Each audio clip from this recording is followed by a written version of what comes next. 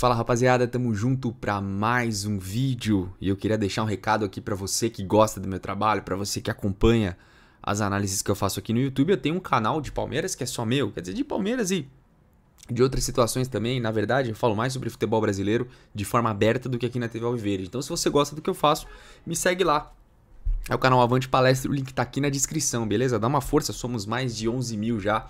O canal tá crescendo. Queria agradecer é, pelo apoio de todo mundo que, que tá dando uma força lá, beleza? Então vamos lá, vamos pro que interessa. É, saiu hoje a punição dos, dos jogadores do Palmeiras que foram expulsos contra o Atlético Mineiro. É, o Scarpa foi punido com um jogo, então ele vai estar tá fora durante o primeiro jogo contra o Atlético Paranaense. É, vai estar tá fora do jogo lá de Curitiba. E o Danilo foi suspenso com dois jogos pela falta que ele cometeu no Zaratio. A gente já tinha uma suspeita de que isso poderia acontecer justamente porque a Comembol estava punindo esse tipo de entrada com dois jogos de suspensão.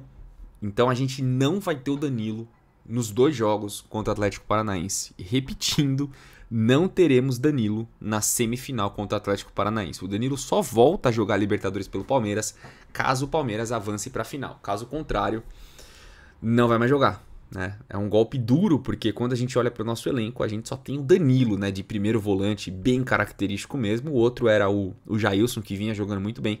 Infelizmente, você sabe que ele se machucou e talvez nem jogue mais durante essa temporada.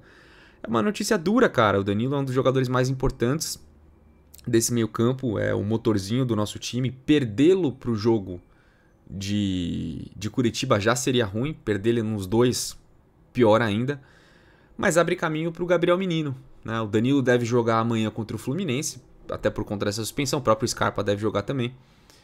Mas é.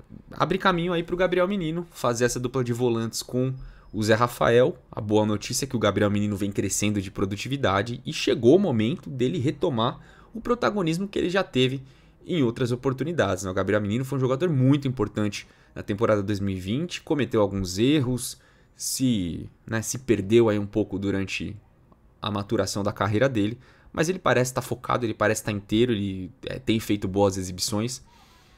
Pelo menos isso, né? Pelo menos ele voltou a jogar bem, porque além do Gabriel Menino, a gente tem como opção o Atuesta, que acho que né, ainda não se encontrou no Palmeiras. E outros moleques né, da base, como o próprio Fabinho, que jogou em algumas oportunidades, mas né, seria loucura você lançar o Fabinho já nesse jogo tão, tão complicado aí. Bom saber que o Gabriel Menino tá bem, mas o Danilo com certeza é um desfalque sentido. Cara, eu.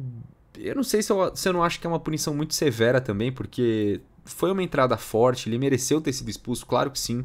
Mas eu acho que você tem que pegar o histórico do jogador também. O Danilo não é um jogador maldoso, ele não deu uma entrada no Zaratio para quebrar o Zaratio. Ele perdeu sim o timing da bola, ele entrou sim com uma força excessiva e, e com o pé em cima da bola. Não estou contestando o cartão vermelho, mas eu, na minha ótica, esses dois jogos de punição acaba sendo um exagero, né? Eu acho que você punir um, um time, né, com uma, uma, suspensão de dois jogos de um jogador, eu acho que tinha que ser algo muito mais intencional e severo, como uma agressão, por exemplo, né? uma agressão que o jogador vai mesmo para bater, para machucar fora do lance, ou uma briga generalizada que o cara agride, né, de fato.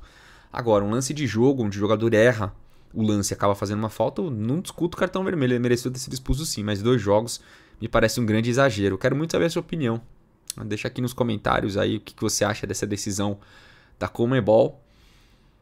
E o que você acha também do Gabriel Menino entrando nessa vaga. Com certeza, né? Ele vai entrar para fazer dupla com o Zé Rafael. Quero saber a sua opinião. Deixa aqui nos comentários. Tamo junto, um abraço, valeu e fui.